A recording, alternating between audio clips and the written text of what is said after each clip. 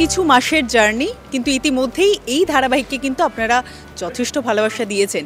এবং প্রোমো হোক বা এপিসোড কোনোটা আপনারা এতটুকু মিস করেন না। তাই তো আপনাদের ভালোবাসায় সেটাও একেবারে এগিয়েই চলেছে। কোন ধারাবাহিকের কথা বলছি বলুন তো? কি আমার বাবা হবে? আমার সুপারম্যান বাবা। মিষ্টি মাসি তুমি আমার মা হবে? তাহলে আমার বাবা তোজো দাদারা বাবা।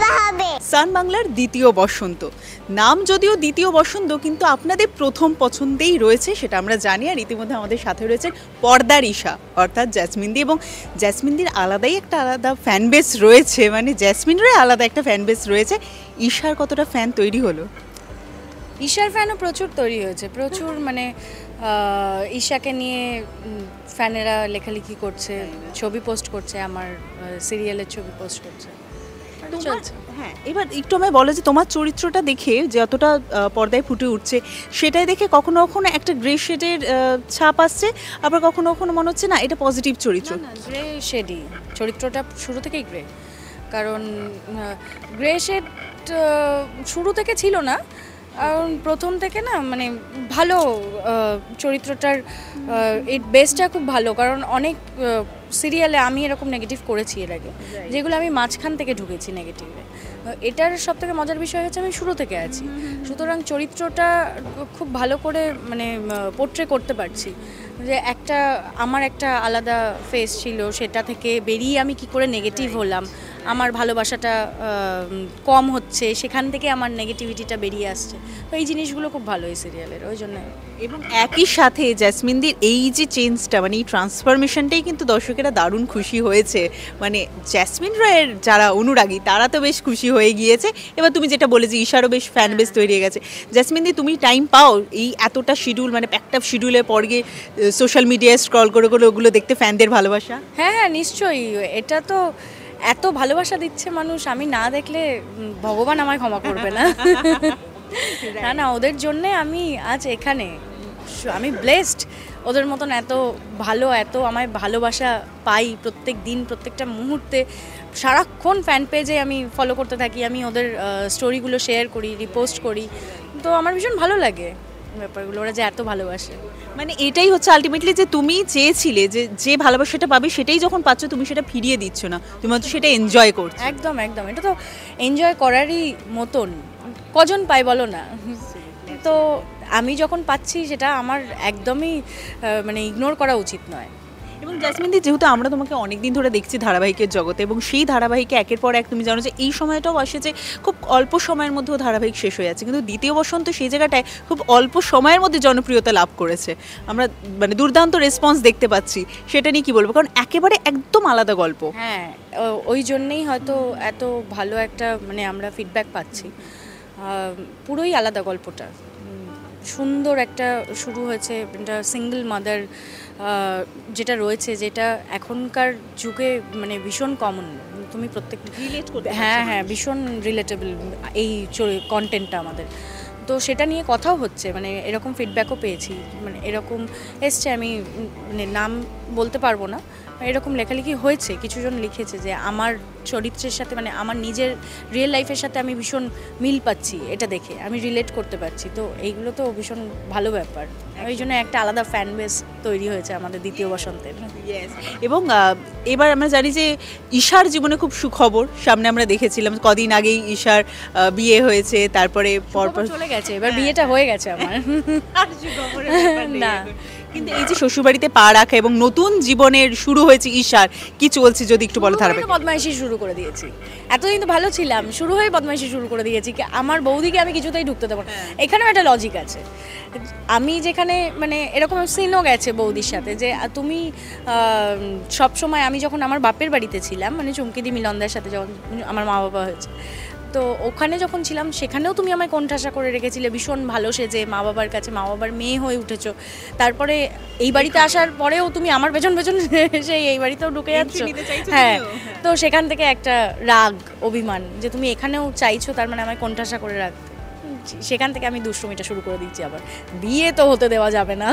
আর যাই আম- আমার না ঈশার। অ্যাবসলিউটলি অ্যাবসলিউটলি সেই জন্য এই যে তুমি ক্লিয়ার করে দিলে যে আমার না ঈশার ঈশার গল্প তো আমরা দেখতেই পাবো যে সময়ের সাথে সাথে সে আদৌ পরিবর্তন হয় কিনা সে তার বৌদিকে আদৌ অ্যাকসেপ্ট করে নেয় কিনা এইভাবে সেটা তো গল্প বলবে। কিন্তু আমি তোমাকে জিজ্ঞাসা করব আমি জানি যে খুব তোমাদের প্যাকটাপ শিডিউল থাকে কিন্তু বন্ডিং কীরকম তৈরি হলো অফ স্ক্রিনে খুব ভালো মানে আমরা এই রিসেন্ট পরশু দিনকেই পিকনিকে গেছিলাম দ্বিতীয় বসন্তের ফুল টিম ভীষণ মজা করেছি। সারা দিন ধরে ভীষণ আর আমাদের অমিতদা আমাদের ডিরেক্টর তো ক্যাপ্টেন অফ দ্য শিপ তো ফাটাফাটি মানে সাচ এ কুল ডিরেক্টর মানে আমি একদম ভীষণ ভালো ভীষণ ভালো ডিরেক্টর আমি এটা অমিতার সাথে ফোর্থ প্রজেক্ট করছি। তো খুব ভালো কাজ করি হেসে খেলে মজা করে। যেমন দুষ্টুমিও করি, সারাক্ষণ ফ্লোরে সবাই মিলে।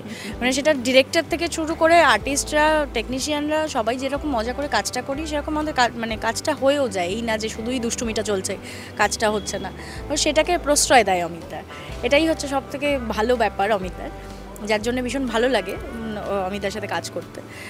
ওই অমিতদার এতেই আমরা পিকনিকে গেছিলাম। অমিতদার সাথে এর আগেও পিকনিক করেছি। খুব ভালো মানে পিকনিকের অর্গ মানে ওয়েল অর্গানাইজড এত সুন্দর মানে আমাদের চ্যানেল থেকেও বলেছে যে এরকমভাবে এত সুন্দর গোছানো পিকনিক এর আগে করিনি। সুন্দর গেমস খাওয়া দাওয়া খাওয়া দাওয়া দুর্দান্ত ছিল। তো সেখানে গিয়ে সবাই হুড়োহুড়ি মজা করেছি সবাই জিতেওছি কেউ না কেউ কিছু না কিছু আচ্ছা। খেলাতে। খুব মজা হয়েছে। মানে অফ স্ক্রিন বন্ডিং আমাদের ভীষণ ভালো। ভালো বলেই সেটা অনস্ক্রিনে আমরা দেখাতে পাচ্ছি না? সেটাই সেটাই রিফ্লেকশনটা আসছে তার মানে বোঝা যাচ্ছে যে শুধুমাত্র যে সিনে ডিরেক্টর হয়ে থাকেন উনি সেটা নন। উনি কিন্তু অ্যাকচুয়ালি অফ স্ক্রিনও ডিরেক্টর হিসাবে নিজে কতটা প্রমাণ মানে দিয়ে দিয়েছেন পিকনিকটা এত সুন্দর অর্গানাইজ ভীষণ সবাইকে বকা বকাবকিও করেছে মানে তার মধ্যে বকাবকি করেছে। মানে সেরকম না যে সবাই রেগে যাবে। মানে কেউ কিছু করলে দুষ্টুমি করলে এই না এটা না এটা করবি না এটা বেশি খাস না ওটা বেশি খাস না। তো হ্যাঁ এই ব্যাপারটা ছিল এই ব্যাপারটা আছে অমিতার জাসমিন দি, আরও একটা কথা বলো। আমি যেটা তোমার সাথে কথা বলতে গিয়ে বুঝছি এবং তুমি এখন পিকনিকের কথা বলে সেই মানে ভেতরে আসে যে টানা কাজ করছি তার মধ্যে একটা রিফ্রেশমেন্টের জায়গা। তো ভেতরে বাচ্চাটা কোথাও কিন্তু এখনও আমাদের লুকিয়ে থাকে। আমি সেটা তোমার সাথে কথা বলে বুঝলাম। কিন্তু ফ্লোরে অ্যাকচুয়ালি দুটো বাচ্চার সাথে কাজ করতে হয়। কীরকম থাকে যদি একটু বলো? কারণ একটু আগে আমি একটা সিন দেখেছি যেখানে বাচ্চাটা তোমার কোলে ছিল। ওর সাথে তো দুটো বাচ্চার সাথেই আমার খুব ভালো বন্ডিং ওরা খুব ভালোবাসে আমাকে হ্যাঁ। একটা বাপের বাড়ি একটা শ্বশুর বাড়ি আর দুটো বাচ্চাই আমাকে ভীষণ ভালোবাসে। মানে এলেই সকালবেলায় এসে গুড মর্নিং উইশ করা একদম সকালবেলায় ঢুকে আমার কোলে করে ঘুরে বেড়ানো মজা করা হাসি আর কি আমরা খেলি টুকটাক। মানে ও এগুলো খুব মজা পায়। আর আমিও ভীষণ ভালো ভালোবাসি বাচ্চাদের সাথে এরকম টাইম স্পেন্ড করতে। বাচ্চা আমার জানো ডগি রয়েছে। তো এদের সাথে আমি ভীষণ টাইম স্পেন্ড করতে ভালোবাসি। মনটা অনেকটা ভালো হয়ে যায় রিফ্রেশ হয়ে যায়। ভীষণ ভীষণ। মানে বাচ্চার পশু পাখিদের সাথে থাকলে আর কিছু দরকার পড়ে না। Thank you so much Jasmine দি এবং শেষ করার আগে তোমার সাথে একটা ছোট্ট গেম খেলে নিতে চাই আমি। গেম বলার থেকে ভালো র্যাপিড ফায়ার আমি তোমাকে প্রশ্ন করব। বা র্যাপিড ফায়ার কেন? আমি তোমাকে প্রশ্ন করব এবং তুমি সেটা শুনে বলবে যেটা তোমার মনে আসবে। জ্যাসমিন দিকে আরেকটু ভালো করে জানার জন্য ভেতর থেকে পেট থেকে কথা বার করার জন্য। সো ফার্স্ট কোয়েশ্চেন আমার যেটা সেটা হচ্ছে শুধুমাত্র ভালো রেমুনারেশনের জন্য দুর্বল বা নিম্নমানের কোনো গল্প জানা সত্ত্বেও প্রজেক্টে কাজ করেছ এরম হয়েছে? না। সেটা অ্যাজ এক্সপেক্টেড এমন একজন অভিনেত্রী সেটা কখনো তুমি অ্যাডজাস্ট করবেই না ওইটা। এমন কোন একটা সিদ্ধান্ত যেটা তোমার পরিবারকে লজ্জিত করেছে কিন্তু তুমি সেই সিদ্ধান্তটা নিয়ে গর্বিত? না না এরকম কখনো ফেস করতে হয়নি আমার। এবং আমার মনে হয় যে যে কোনো কাজে তুমি তোমার মধ্যে পরিবারের সাপোর্ট পেয়েছ। সাপোর্ট পেয়েছি আর আমাকে নিয়ে সবাই ভীষণ গর্বিত। আমি নিজেও নিজেকে নিয়ে ভীষণ গর্বিত। এটা হচ্ছে কনফিডেন্স এবং ফ্যানেরাও এই প্রশ্নটা পর হয়তো বলছে আমরাও আমরাও গর্বিত জ্যাসমিন থ্যাংক ইউ. তোমার কি মনে হয় অযোগ্য হওয়া সত্ত্বেও ইন্ডাস্ট্রির অনেক প্রভাবশালী ব্যক্তি যারা অভিনেতা অভিনেত্রীদের প্রভাবিত করেন? আমি এটা কোনো কমেন্ট করতে চাই না। স্কিপ করলাম। এমন একজন কেউ যার মেসেজ বক্স তুমি গোপনে দেখতে চাইবে। হুম। বলো। না সেটা বলা যাবে না কি? গোপনে দেখতে চাইব গোপনই থাক ব্যাপারটা কেন বলব? আচ্ছা তারপরে দেখা হয়ে গেলে তারপর নামটা বলে দেবে তো? হ্যাঁ দেখো। না না কোনো হিন্ট হচ্ছে না। জানা গেল না। মানে আমি চেষ্টা করেছিলাম পেট থেকে খবরগুলো জানার জন্য কিন্তু জ্যাসমিন দি কিন্তু সেটা করতে দিচ্ছে না ওকে যদি তুমি দেখো যে তোমার এক্স বাকি সবার এক্স হয়ে যাচ্ছে তাহলে কি সেই খবরে তুমি খুশি হবে না কষ্ট পাবে? খুশি হব না কষ্ট পাবো? দুটোর একটাও হব না। আমি অ্যাকচুয়ালি যেখান থেকে বেরিয়ে আসি মানে আমি মুভ অন করে গেলে সেদিকে ঘুরে আর তাকাই না। সেটা যে কোনো কিছুর ক্ষেত্রে। তারপরে সে যা পারে করুক। আই ডোন্ট কেয়ার হ্যাঁ। ওকে আচ্ছা। যদি তোমার কাছে লাভ এট ফার্স্ট সাইট প্রথমে জিজ্ঞেস করি যে লাভ এট ফার্স্ট সাইটে কি তুমি বিশ্বাস করো? হুম যদি লাভ এট ফার্স্ট সাইটে তুমি বিশ্বাস করো তাহলে kissing on the first date এটা কি তোমার কাছে অ্যাকসেপ্টেবল হ্যাঁ হ্যাঁ ডেফিনেটলি ওকে ফাইন আচ্ছা সফলতা সিঁড়ি দিয়ে দ্রুত উপরে ওঠার জন্য এমন কোনো শর্টকাট অনিচ্ছা সত্য বেছে নিতে হয়েছে কখনো? না। রাইট একদমই। তোমার নিজের অভিনয় কখনো দেখতে দেখতে মনে হয়েছে যে তোমার অন্তত অভিনয় দুনিয়ায় থাকা উচিত নয়? না না একদম নয়। তেরে আসবে তোমার ভক্তরা আমাকে। ভক্তরা তেরে আসবে আর আমি নিজেকে ক্ষমা করতে পারব না আমি যদি এটা ভাবি। নো ওয়ে কিন্তু এরকম কখনো হয়েছে যে কোনো একটা সিন দেওয়ার পর মনোপুত হলো না? মানে পারফেকশন হ্যাঁ হ্যাঁ সেটা তো অবশ্যই। অনেক সিনে হয়। মানে টেলিকাস্ট দেখার পর বা সেটা দেখার পর মানে না এটা আরেকটু বেটার করলে ভালো হতো। কিন্তু কখনো এটা মনে হয়নি যে না ইস আমার অভিনয় জগতে থাকা উচিত নয়। একদম নয়। হারিয়ে ফেলবে। কেড়ে নিলে আমি বোধহয় শেষ হয়ে যাব। আমার জীবনে আর কিছু থাকবে না। আমি ভীষণ ভালোবাসি অভিনয় সেটা আমার ফ্যানেরা জানে তোমরা জানো.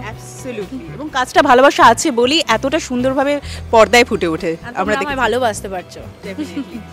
খেলতে খেলতে চলে এলাম একদম লাস্ট প্রশ্নে যেটা হচ্ছে যে শুটিং চলাকালীন কখনো কোনো কোস্টারে অশোভন আচরণে ধৈর্য হারিয়ে চড় মারতে ইচ্ছে হয়েছে বা মেরেছো? নো কমেন্টস সিরিয়াসলি হ্যাঁ না।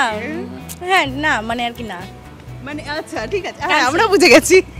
প্রশ্নটাই cancel thank you so much Jasmine দি এবং বেশ একটা মিষ্টি আড্ডা হলো। এবং ঈশার চরিত্রে তোমাকে দর্শকেরা যেভাবে দেখছেন সেইভাবে অনেক শেড আমার মনে হয় আরও সামনে আসতে চলেছে। ঈশার আদৌ পরিবর্তন আসছে। আসছে এর মধ্যেই মানে আজকেও সিন করছি এরকম সিন করছি। দুষ্টুমি তো করেই যাচ্ছি সেটা ছেড়েই দাও। এরকম টুইস্ট আসছে, সেটা দেখতে হলে অবশ্যই তোমাদের চোখ রাখতে হবে সান বাংলায় প্রতিদিন রাত আটটায় দ্বিতীয় বসন্তে। থ্যাংক ইউ সো মাচ আর বসন্তকাল তো সামনে চলেই এলো। শীত তো চলেই গিয়েছে, তাই বসন্তকাল এবং বছরে বাকি সময়টুকু দ্বিতীয় বসন্তকে কিন্তু আপনারা একই রকমভাবে ভালোবাসা দিচ্ছেন। আমরা দেখতে পাচ্ছি, এই ভালোবাসাটি উজাড় করে দিন। তার কারণ দ্বিতীয় বসন্তে আসছে নতুন নতুন চমক। আর তারকাদের সম্পর্কে এরকম আরও খুঁটিনাটি জানার জন্য আর মজার মজার আরও এরকম আড্ডা দেখার জন্য অবশ্যই নজর রাখুন সিটি সিনেমার পর্দায়। সাবস্ক্রাইব করতে ভুলবেন না city cinema. টলিউডের latest update gossip and entertainment পেতে সাবস্ক্রাইব করুন শুধুমাত্র সিটি সিনেমা। আর ফলো করুন সিটি সিনেমার Instagram Facebook Twitter and ShareChat page